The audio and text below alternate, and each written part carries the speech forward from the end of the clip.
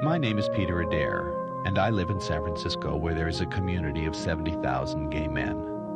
In the last years, this community has been hit by the deadly virus AIDS. To date, a thousand people have died in our city, 97% of them gay men, and the virus continues to rage with no cure in sight. Rob Epstein and I, both filmmakers and gay men, have been deeply affected by the AIDS crisis. Although we are both in good health, we have friends who've been diagnosed and friends who've died.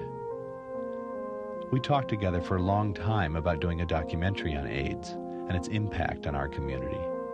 Not a medical film, but one that would address the more intangible, invisible effects of the epidemic.